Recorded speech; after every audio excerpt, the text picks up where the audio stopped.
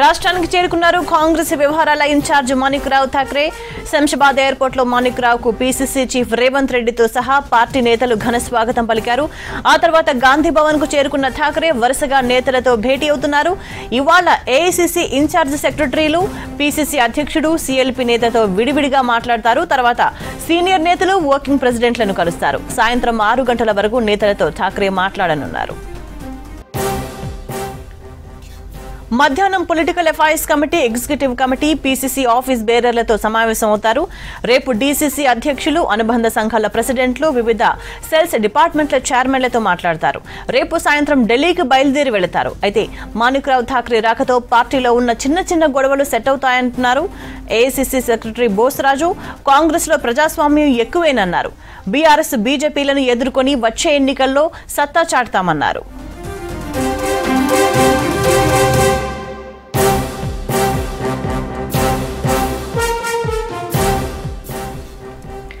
మరిన్ని డీటెయిల్స్ గాంధీ భవన్ నుంచి మనకి రాజు అందిస్తారు. రాజు.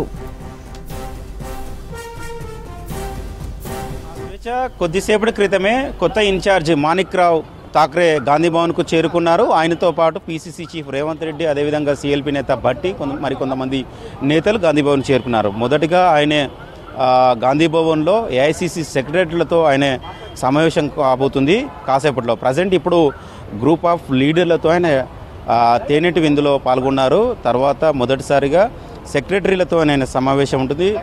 తెలంగాణకు సంబంధించిన ముగ్గురు సెక్రటరీ ఉన్నారు. బోసురాజు నదీన్ జావేద్ రోహిన్ చౌదరి. ఈ ముగ్గురు నేతలతోనే ఆయన సమావేశం అవుతారు. తర్వాత పీసీసీ చీఫ్ రేవంత్ రెడ్డితోని పన్నెండు గంటలకు ఉంటుంది.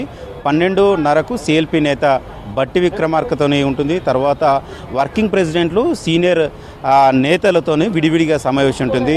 తర్వాత మధ్యాహ్నం తర్వాత పొలిటికల్ అఫైర్స్ కమిటీ అదేవిధంగా ఎగ్జిక్యూటివ్ కమిటీ మీటింగ్లో ఠాక్రే భేటీ అవుతారు. తర్వాత ఈవినింగ్ అధికార పార్టీకి సంబంధించిన సారీ పార్టీ సంబంధించిన ప్రతినిధులు ఎవరైతే ఉన్నారో స్పోక్స్ పర్సన్స్ వాళ్ళతోనే ఆయన భేటీ ఉంటుంది. సో ఇవాళ ఈ ఠాక్రేకి సంబంధించిన షెడ్యూల్. రేపు ఉదయం మళ్ళీ పదిన్నరకు డీసీసీ ప్రెసిడెంట్లతోని అదేవిధంగా ఫ్రంటల్ ఆర్గనైజేషన్స్తోని వాళ్ళతోనే ఆయన భేటీ అవుతారు. అనుబంధ సంఘాలు ఎవరైతే ఉన్నారో మహిళా సంఘం అదేవిధంగా కిసాన్ సెల్ కావచ్చు ఇతర సంఘాలకు సంబంధించిన నేతలతోని థాక్రే సమావేశారు పూర్తిగా షెడ్యూల్ ప్రకారం కొనసాగుతుందని కాంగ్రెస్ పార్టీ నేతలు చెప్తున్నారు.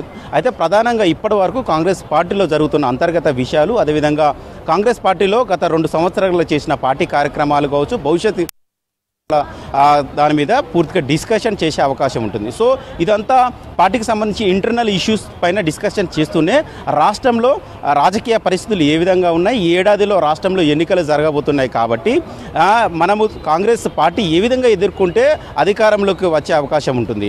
హాత్సే హాత్ జోడో జనవరి ఇరవై ఆరు నుంచి వెళ్ళి కొనసాగబోతుంది కాబట్టి ఏ నేతలు బూత్ స్థాయిలో పాల్గొంటారు? ఏ నేతలు ఎక్కడి నుంచి పాల్గొంటారు? అనే దాని మీద పూర్తిగా డిస్కషన్ చేసే అవకాశం ఉంటుంది. ఏఐసిసి డైరెక్షన్ మేరకు పూర్తిగా కాంగ్రెస్ నేతలను ఒక తాటిపైకి తీసుకురావడానికి థాక్రే ఠాక్రే ఎలాంటి వ్యూహంతో పనిచేస్తారనేది కాంగ్రెస్ పార్టీలో ఒక చర్చ అయితే కొనసాగుతుంది.